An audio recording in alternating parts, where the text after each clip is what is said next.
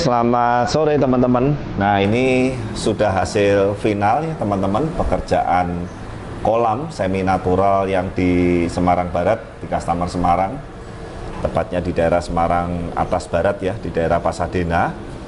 Ini secara landscape-nya, secara kolamnya, secara filter yang kita juga sudah pernah bahas kemudian secara pencahayaan malamnya, estetika malamnya, air terjun, bonsai, sudah lengkap semua intinya. Dan inilah hasilnya teman-teman.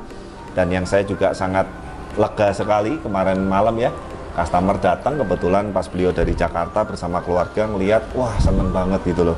Yang pertama ikannya sekarang juga udah lebih kualitasnya udah lebih bagus-bagus, bahkan beberapa ada yang ikan uh, sekelas untuk show ya dan beliau juga ngambil ikan dari Pluto kawan kita ya Pluto koi uh, Mas Yuda salam nanti dua ekor ikan beliau yang disiokkan uh, oleh Pluto nanti setelah pulang show akan masuk kolam ini. Nah teman-teman bisa lihat memang uh, sangat penting sekali teman-teman bahwa membuat kolam koi dengan spek yang bagus dengan filter yang bagus dengan desain yang juga mendukung supaya maksud saya begini teman-teman. Kita bisa membuat uh, customer atau sebagai penghobi pun itu bukan cuma hanya menikmatin ikan koinya tapi secara menyeluruh baik secara estetikanya, landscape-nya, air terjunnya, pencahayaan malamnya didukung dengan lampu mayin juga itu bisa overallnya itu bisa keren seperti itu. Nah teman-teman uh, sebelum kita lanjut dan bahas edukasi ini sebetulnya sudah mulai makan kita saksikan dulu cuplikan dari mulai waktu awal datang dibongkar kemudian prosesnya kemudian uh, tahapan-tahapannya finishing sampai running melalui video berikut ini.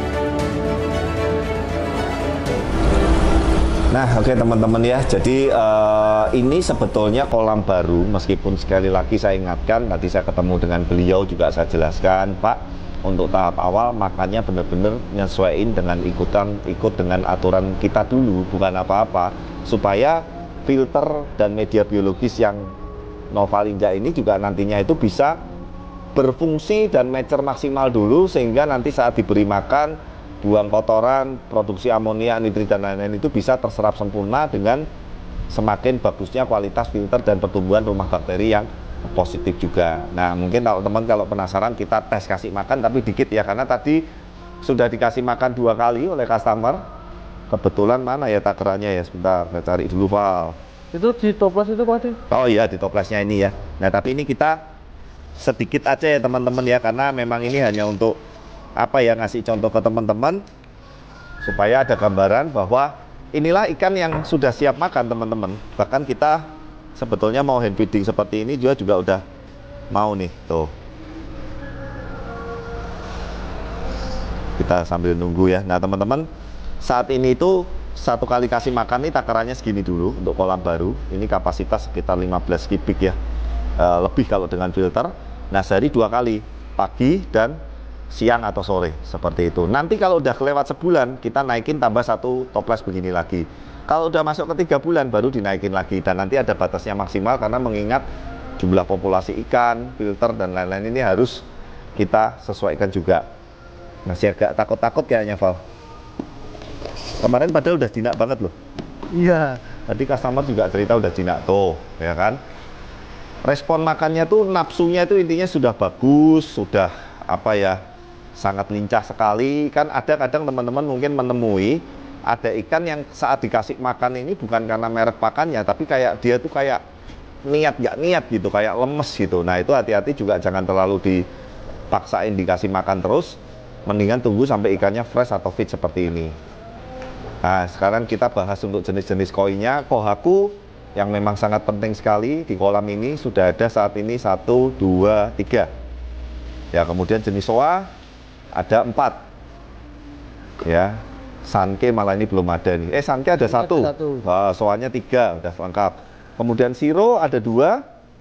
Ikan penjinaknya ada dua, Benigo Igindrin sama Karasi Red Karasi Mango. Kemudian Yutsuri ada satu, Ochiba ada dua. Kemudian apalagi yang lain ya? Nah, masih ada yang belum terkirim, Kohakunya ada dua, Tanco Kohaku satu, dari Pluto ada Siro dan Soa. Mantap lah ini sudah. Dan teman-teman juga lihat akhirnya dengan kolam yang spek yang memang uh, mumpuni kasarannya dengan filter yang bagus mengakibatkan akhirnya kualitas airnya pun juga bagus seperti ini.